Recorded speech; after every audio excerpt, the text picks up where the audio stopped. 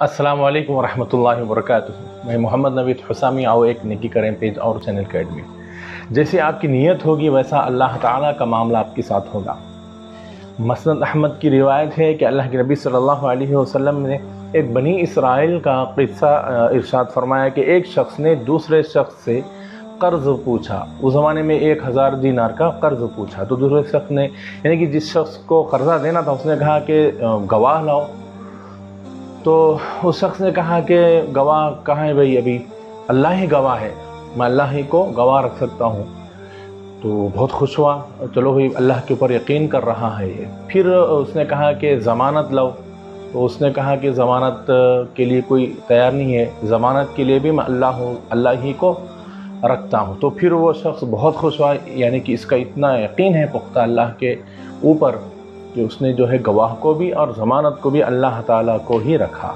तो उस शख्स ने जो है एक हज़ार दिनार दे दिया कर्ज़ के तौर पर। वो शख्स जो है एक सफ़र पर था तरी का सफ़र यानी कि समंदर या उस ज़माने में जो दरिया था, उस सफ़र पर निकल गया उसके काम के लिए। जब काम हुआ और वो जो वक्त था, यानी कि जो एक ड्यूरेशन मांगा था, एक वक्त मांगा था, इतने वक्त में मैं पैसे वापस कर दूँगा। तब ये पहुँचा अपना काम किया। उसी दिनों में ये हुआ कि वो जो वक्त था वो वक्त भी करीब आ चुका था पैसे वापस करने का। तो उस शख्स ने जो है इरादा किया पैसे जमा किए और जो है दरिया की तरफ़ गया। वहाँ कश्ती मिली तो जाऊँगा सफ़र करूँगा वापस ले जाकर उस शख्स को आ, उसकी अमानत जो कर्ज़ लिया था वापस दे दूँगा मेरा वादा पूरा कर दूँगा। लेकिन अल्लाह का करना ऐसा हुआ कि वहाँ कोई कश्ती सवारी नहीं मिली यानी कि उस ज़माने में बहुत मुश्किल होती थी सवारी के लिए। तो बहुत कोशिश की उस दिन आ, मैं जाऊँ वापस और मेरा वादा पूरा करूँ उस शख्स को मैं कर्ज़ वापस कर दूँ। तो हुआ ये कि कश्ती मिली नहीं तो फिर भी वो वो ये सोचा कि मैंने अल्लाह को गवाह के तौर पर रखा था ज़मानत के तौर पर रखा था।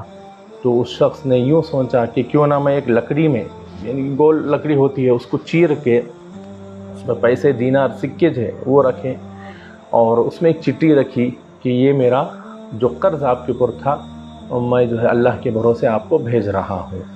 तो फिर उसको जो है बंद कर दी, उसको टाइट बंद करके दरिया में डाल दिया और ढकल दिया और अल्लाह से यूँ दुआ किया कि, या अल्लाह मैंने वादा किया था, इस वक्त तक आपको, यानी कि उस शख्स को मैं कर्ज़ वापस कर दूँगा मैंने ज़मानत और गवाह में आपको रखा है। या अल्लाह आपसे दुआ है, आपसे मैं ये उम्मीद रखता हूँ कि आप जो है ये चीज़ उस तक आफियत के साथ पहुँचा देंगे।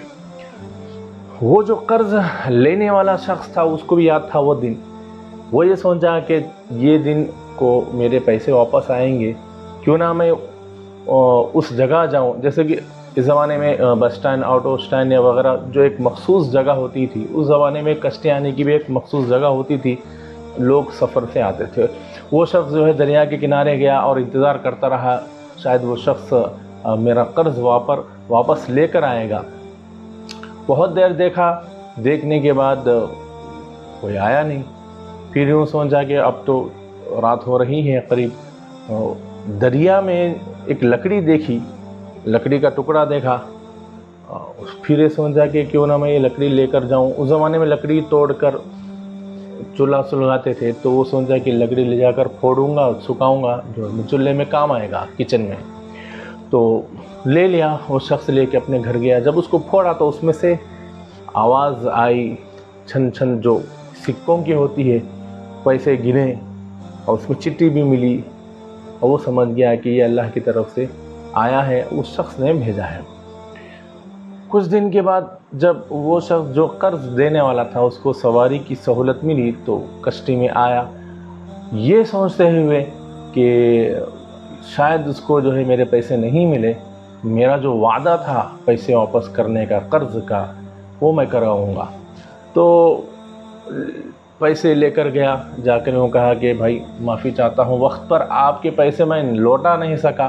इस वजह से अभी आने ताखिर हो गई, सवारी की दिक्कत थी। तो वो शख्स परेशान हुआ, अरे नहीं भाई, आपके तो पैसे मुझे पहुँच चुके हैं और चिट्ठी भी मिली।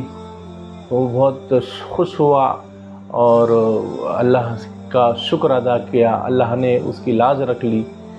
जैसा हम नियत करते हैं, अल्लाह ताला का मामला हमारे साथ वैसा होता है। जैसे हमारी नियत अच्छी होगी, अल्लाह ताला का मामला हमारे साथ अच्छा होगा।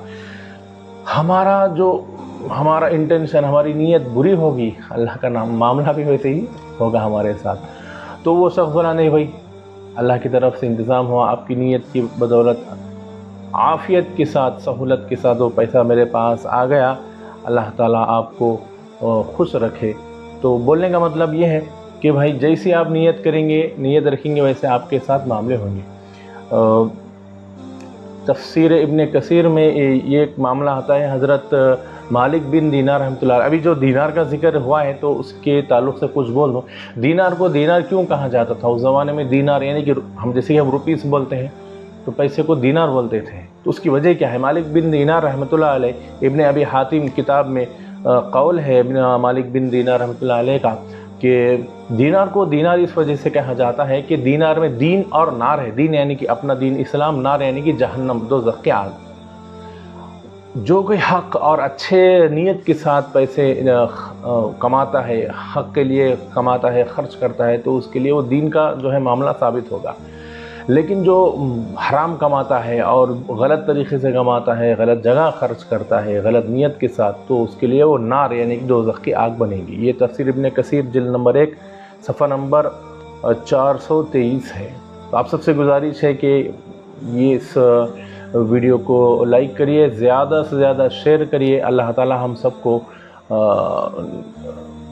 पाक नीयत अखलास नीयत अता फ़रमाएँ। इस वीडियो को ज़्यादा से ज़्यादा शेयर करिए। जजाकल्ला खैर। अस्सलाम